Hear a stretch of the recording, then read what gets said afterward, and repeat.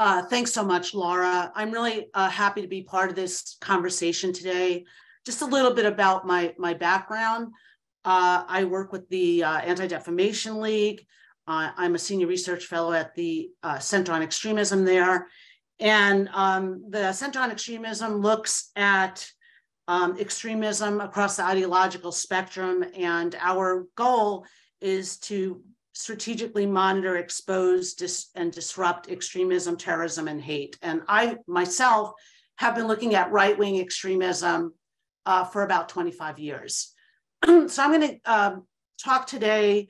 Uh, that my topic is about the mainstreaming of extremism within the conservative movement. And I want to talk about a little bit of an give an overview of what we've seen in the last uh, you know, about seven years or so. Um, and that is that um, one of the, you know, main things is the conservative movement's embrace of some white nationalist ideas. And by that, um, I mean, uh, for example, the embrace of something like the great replacement theory, which we heard a lot about yesterday. You know, this idea that, um, you know, whites in this country are being replaced by non-white immigrants uh, through you know through and and through other factors social political factors um, that you know there this is um, something that is actually being engineered by uh, you know liberal uh, socialist slash communist forces in this country. Um, we also um, you know see uh, in opposition to um, immigration in general, even le- legal immigration to multiculturalism to diversity. We're seeing an embrace of, um, from the conservative movement, authoritarian leaders like Viktor Orban in Hungary, Eduardo Bolsonaro in Brazil, and, and, and Vladimir Putin in Russia. And along with all this, we're seeing a rejection of um, democratic norms, such as accepting election results um, and the spread of election fraud uh, conspiracy theories and theories like the Great Reset, which I'll talk about a little bit later. So um, I think to you know to really understand um, how extremism has seeped into uh, the mainstream conservative movement, I want to talk about two strands within the conservative movement, and um, these these are uh, the two are paleoconservatism and Trump extremism, as we call it at the ADL. So um, paleoconservatism uh, is really an obscure segment of the American right that seeks not only uh, limited government and tra- um, traditional values, but also a return to older, less enlightened attitudes on subjects such as race, religion, ethnicity, and gender. And though some of the beliefs among paleoconservatives can be found as far back as the isolationists and America for, um, uh, America Firsters of the 1930s, paleoconservatism itself is, is, is newer and it really arose in the 1980s in large part as a re- reaction against neoconservatism, which paleoconservatives you know, just vigorously oppose. Um, because neoconservatism is a, a, political ideology which, which um, emphasizes free market capitalism and an interventionist foreign policy. And paleoconservatives are as I said, very much opposed to that. Um, and they're, you know, opposed to intervention in foreign countries, to globalism in general, and also to uh, open borders and immigration and multiculturalism. So some, uh, just to give some well-known examples, uh, paleoconservatives, uh, Pat Buchanan, you know, who's a pundit and a columnist um, who has focused on, on culture war issues and also the impact of immigration and foreign intervention on the US. Uh, Buchanan is currently a frequent contributor to VDARE, which is an anti-immigrant and white nationalist site. Um, I also want to mention Sam Francis because he's played a major role in, uh, I mean, he, he, is now deceased to, to be very clear about that, but he, he was a columnist and an editor for the Washington Times until he was let go in 1995 for making racist comments. Um, and but he he really um, you know after he left the washington times he really became a very important figure and thinker in the white nationalist movement and he championed the council of conservative citizens uh, which was um, which you know, uh, it doesn't really exist anymore, but it's white supremacist group that emerged out of the white citizens councils of the 50s and 60s in the South. And, um, you know, Sam Francis is still revered uh, in the white nationalist movement. Uh, the last person I'm going to mention is Paul Gottfried, who's a former professor and a philosopher and a writer. And he's been credited um, with coining the term the alt right, um, also known as the alternative right. I'll get into the alt right a little later. Um, but he was a mentor and influencer on one of the main leaders of the alt right, Richard Spencer. And what's clear is that these three figures and, and other paleoconservatives, like uh, the person who runs Taki magazine and, and, and others as well, have formed some of the basis for the views we are seeing being mainstreamed in the conservative movement today. So Trump extremism is, is quite different from paleoconservatism.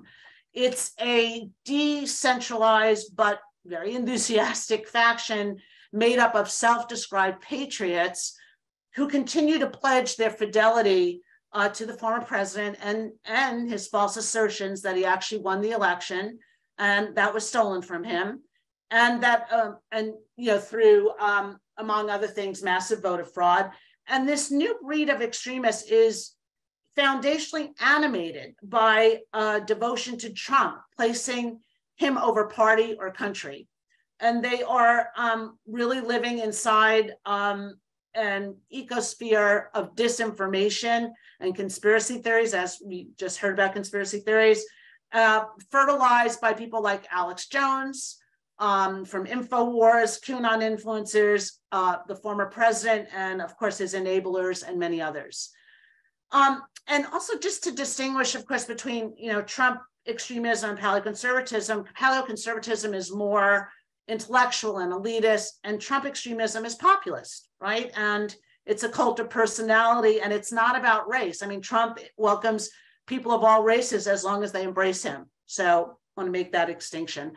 Um, so I want to talk now also um, about the alt right, and um, this is a, a, movement that really um, I focused on quite extensively when it sort of emerged in 2015 and um, it brings me to the Trump's 2016 election and um, to his uh, to his early days in office um, when he was enthusiastically supported by the alt-right, which which we define um, at ADL as a loose movement that arose in the 2010s and by 2015 had become an important new segment of the white supremacist movement bringing thousands of young, newly radicalized white men um, into the fold. And you know, the more um, the more politically alt-right adherents uh, have typically sought to legitimize and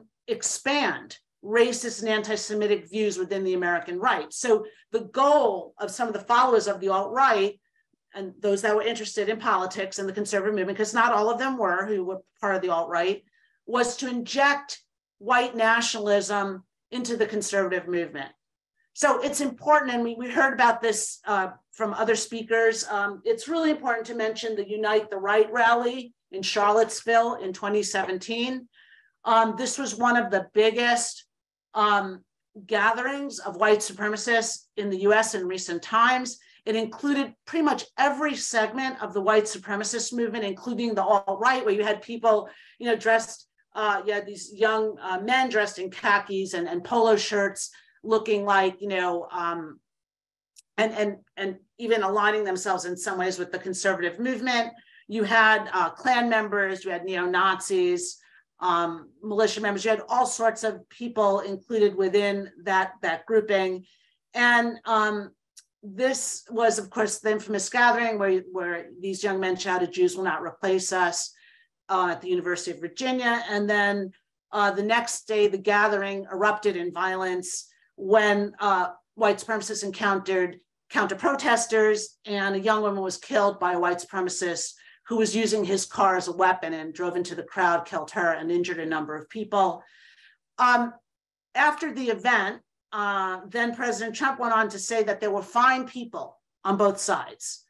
And um, of course, this was a, a very disturbing uh, comment from him, and many in the white supremacist movement um, took what Trump said as support for their cause. But of course, he had been making dog whistles to the white supremacist movement in many other ways as well. Um, and it's also important to talk about other extremism in Trump. So, you know, white supremacists uh, were not the only extremists that Trump embraced or that embraced Trump. So, uh, during his time in office, Trump received the support of other far right extremists, including the Proud Boys uh, and anti-government groups like the like militia groups and the Oath Keepers. And these groups are with Trump from day one and stuck with him, as we clearly saw on January 6th during the insurrection.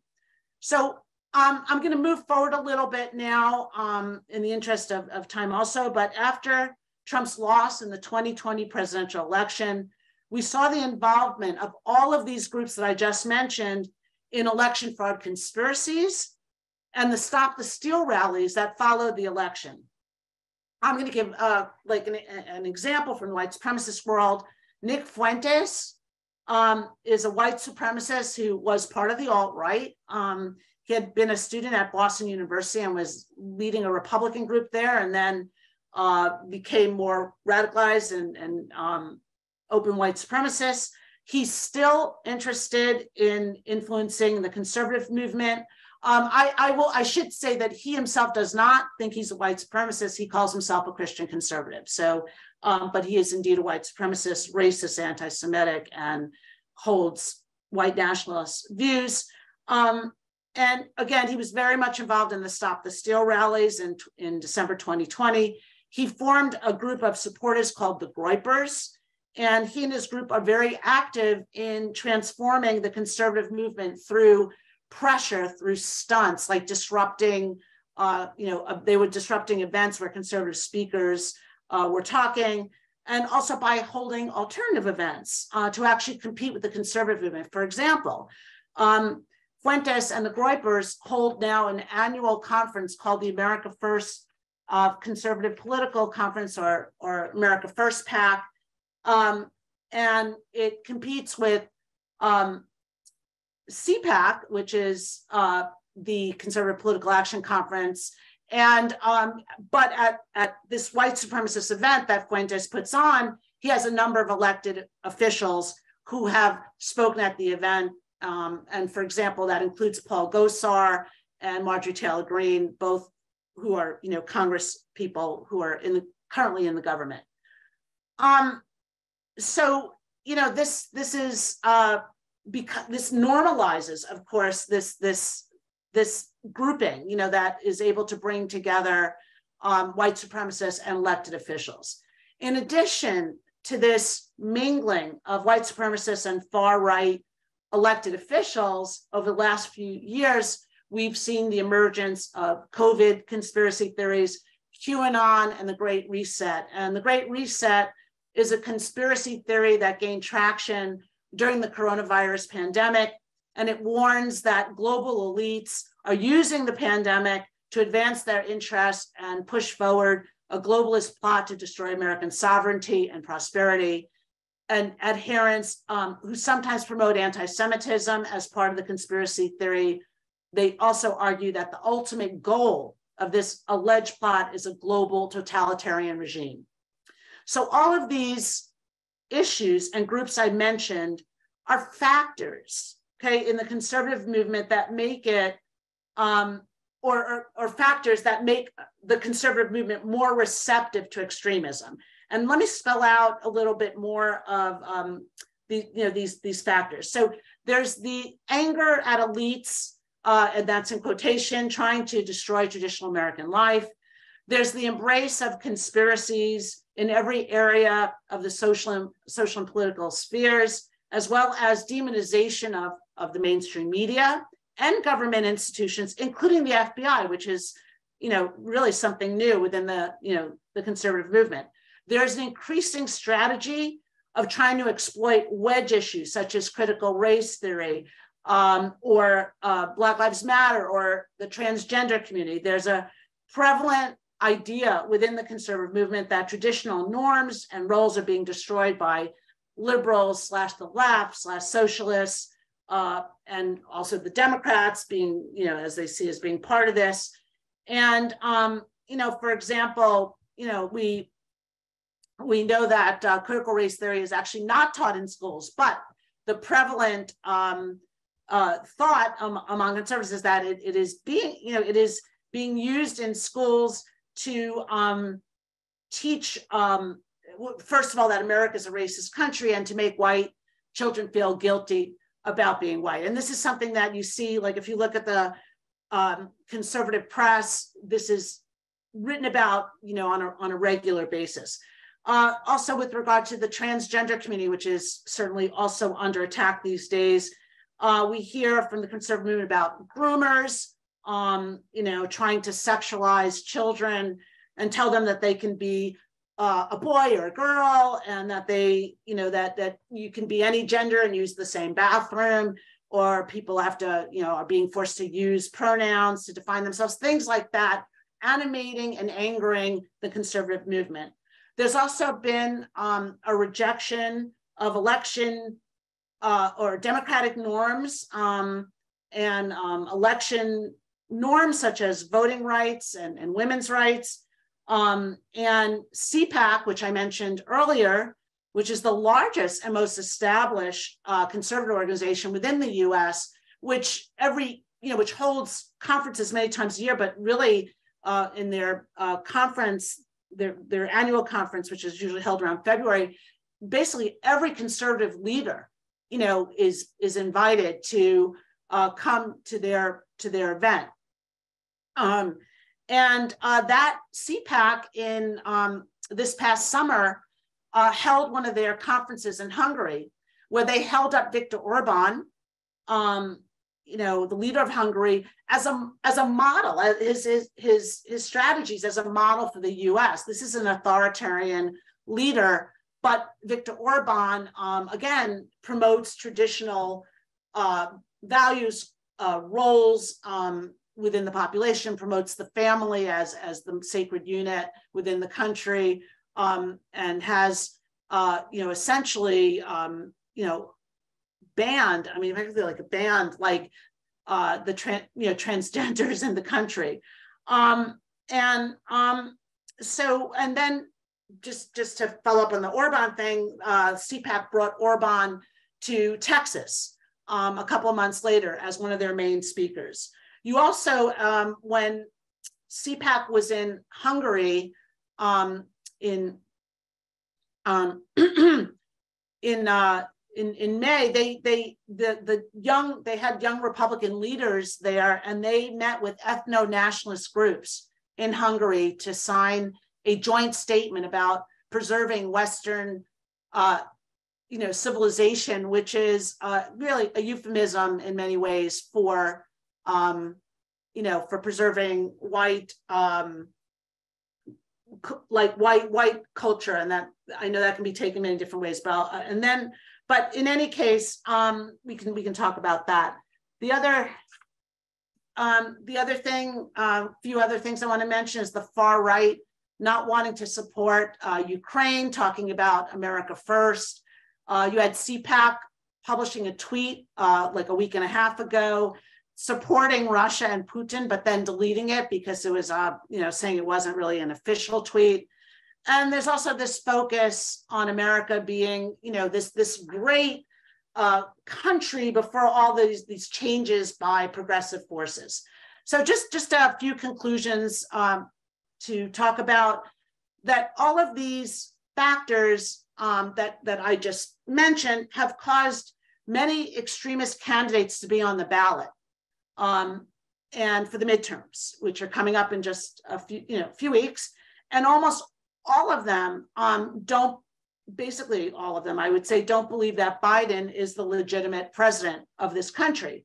Uh, you had analysis from 538, uh, which does um, uh, organization that does uh, statistical analysis, and they found that almost 200 public Republicans who were on the ballot in November uh, believe that President Biden's win was illegitimate, and that 60% of Americans will have an election denier on, on the ballot this fall.